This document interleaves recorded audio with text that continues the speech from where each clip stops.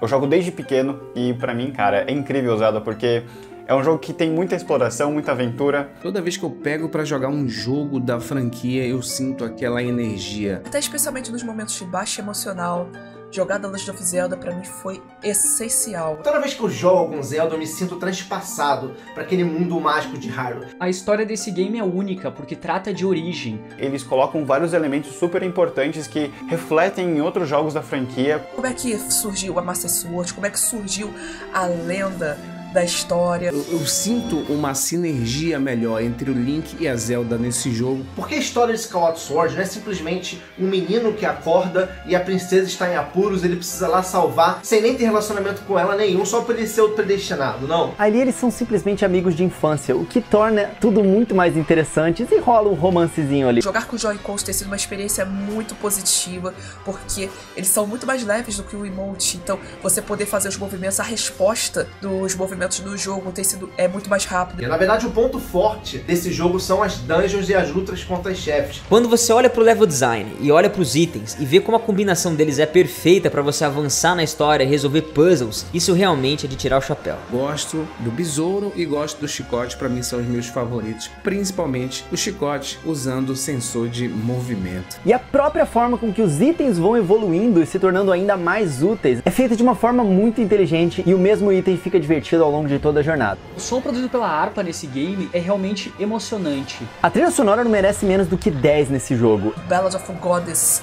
com aquela, sabe? Você sente aquela jornada do herói ali começando, sabe? Quando você escuta essa música. Em 2011, inclusive, quando a Nintendo lançou, ela até vendia o jogo com uma edição especial com bônus disc. O meu irmão ia trabalhar todos os dias ouvindo aquelas músicas no carro. É a trilha sonora que eu mais gosto de todos os jogos.